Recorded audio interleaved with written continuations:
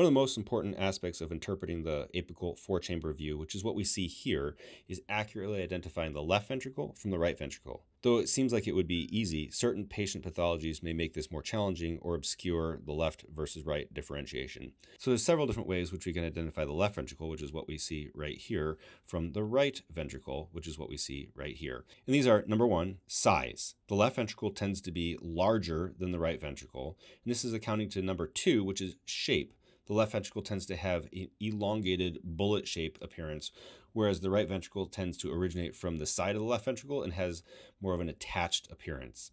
The third identifying feature is what we call the moderator band, which is this tissue that we see right here, and that occurs only in the right ventricle. But there's one final feature, which happens to be my favorite, that identifies the left ventricle from the right ventricle, and that is this structure right down here.